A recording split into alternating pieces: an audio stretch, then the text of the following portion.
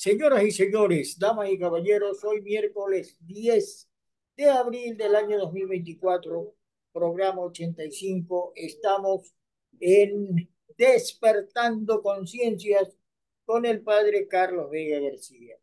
Hoy el tema que trataremos es los talentos. Padre Carlos, muy buenos días, bienvenido. Muchas gracias. Buen día para todos y que tengan un lindo día. Que Dios esté siempre con ustedes, protegiéndolos y cuidándolos. Bendiciones. Todos tenemos el mismo talento. Es la esencia de lo que constituye verdaderamente al, al hombre. Es lo que lo hace más humano y con mayor capacidad de amar. Se ha querido malinterpretar la parábola de el talento escondido, creyendo que es una virtud para multiplicar cualidades en la persona. Yo creo que este, esta parábola nos da pista para que entendamos de una manera mejor qué es el talento y quiénes somos verdaderamente nosotros. El talento es nada menos que una joya, diríamos una perla preciosa de incalculable valor que Dios nos ha regalado y que está dentro de nosotros. Lo importante sería tratar de descubrirla, de ponerla al servicio de los demás y no enterrarla. Jesús, durante su vida pública, nunca habló de conservadurismo, menos de esterilidad o de seguridad o de fe enterrada. Jesús prefirió la acción, la transformación, el riesgo de cada día para ir abriendo caminos para que el reino de Dios se dé en este mundo. Pero qué ironía que lo que Jesús nunca habló de conservadurismo, la iglesia lo ha tomado como algo propio, este, este término. La iglesia en todo momento habla de conservar el depósito de la fe, de conservar la tradición, de conservar las buenas costumbres, de conservar la gracia, de conservar la vocación. Ha hecho suya este término que para Jesús nunca lo utilizó y que jamás lo aceptó. Cuando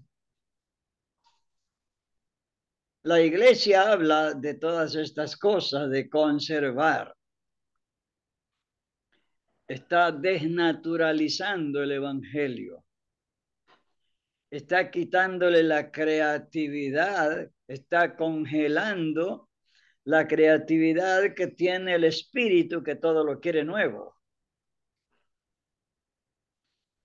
Hay una cosa que nosotros tenemos que reprocharle a la iglesia y de una manera categórica. Es que haya enterrado este mensaje de la buena nueva del reino. Hoy por hoy la iglesia no anuncia el reino de Dios. Y yo creo que este, esta parábola del tesoro escondido nos debe servir para hacer una reflexión profunda de la actividad de cada uno de los cristianos y de la iglesia en particular. Para ver si hemos descubierto el don que Dios nos ha dado o el talento que Dios nos ha dado. Si lo estamos poniendo en práctica o si lo hemos enterrado. Yo creo, yo pienso de manera muy, muy particular que Jesús cuando vino a este mundo trajo un propósito. que es el de extender un nuevo reino en este mundo. Y ese reino que lo truncaron porque lo mataron en la cruz, lo dejó en manos de sus discípulos, apóstoles, de sus seguidores. Y les dijo, vayan, prolonguen la buena noticia prediquen el Evangelio, refléjenme, reproduzcanme, sean otro Cristo aquí en la tierra, para que esa labor truncada por los judíos continúe realizándose en el mundo. Y esto es lo que debemos de meditar y reflexionar con exclusividad, porque Jesús no hizo otra cosa, no trajo otro, otro esquema, otro programa, sino de instaurar un nuevo reino en este mundo. Y ese reino, el día que lo instauremos, el mundo va a cambiar porque es un reino distinto al reinado de este mundo. Es un reino donde el amor tiene que sobresalir en todo momento. Y cuando nosotros amamos, el reino de Dios se está estableciendo en este mundo, porque estamos llamados a vivir en la fraternidad, en la unidad, en el servicio, en el perdón, en la fraternidad y en la ayuda mutua de unos con otros. Cuando uno ama, nunca perjudica ni hace daño a nadie. Y eso fue lo que vino Jesús a instaurar en este mundo. Ojalá que, como dije hace un instante, esta parábola del tesoro escondido nos ayude a hacer un examen profundo. Yo sí he descubierto el talento que Dios ha puesto en mi vida. Yo sí lo estoy poniendo en práctica o lo he escondido, como acabo de decir que la iglesia ha escondido este don, este don precioso de extender el reino de Dios en el mundo. Que Dios caiga en, nuestros corazones este mensaje y que dé esos frutos abundantes como una tierra abonada.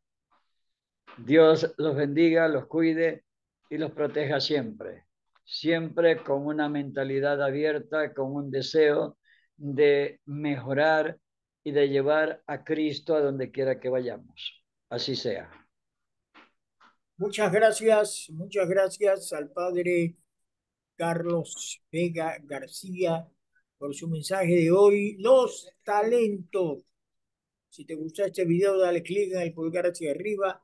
Por favor, suscríbete a este canal, aplasta la campanita para que recibas más videos de Despertando Conciencias. Es completamente gratis, no te cuesta un solo centavo.